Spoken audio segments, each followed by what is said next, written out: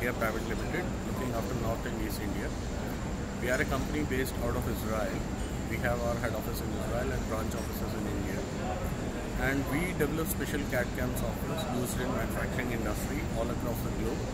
With armed forces, we are giving our software in their uh, DRDO departments, wherein they make uh, missile parts, and also in organizations where they make aircrafts. So all their manufacturing is done through the CNC machines, and we specialize in CNC machining software, and uh, we provide solution for all those uh, vertical milling centers from uh, two and a half axis till uh, five axis.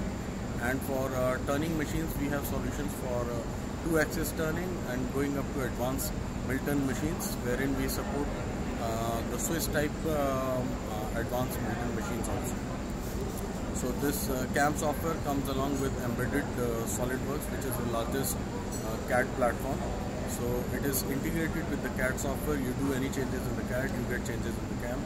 And I think being an Israeli company uh, associated with Indian defense and uh, uh, army since such a long time, so we are the best solution provider in the industry.